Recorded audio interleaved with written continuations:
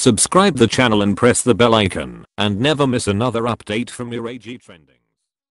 Emergency services have started door-knocking Canberra homes to urge them to prepare their bushfire survival plan, as a fast-moving blaze continues to act erratically and head towards homes. The 113-hectare blaze is 8 kilometers from the closest suburbs and remains at a watch and act alert.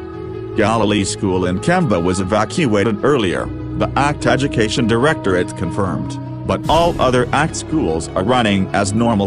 Authorities warned the fire was heading in a southeasterly direction in steep terrain, while two water-bombing aircraft had been sent to help with firefighting efforts. Emergency Services Agency ACT Commissioner Dominic Lane said no homes were currently under threat and no evacuations had been ordered. But he said rural properties would be at risk if the fire continued to move fast. On days like today where you have very high fire danger conditions, where you get this spotting activity, homes in the bushfire-prone areas of the ACT will come under threat, he said. The principal threat at this point in time is to the rural area around Pierces Creek and Tidbinbilla, that's why we have firefighting resources there to protect those homes and the surrounding outbuildings on those farms.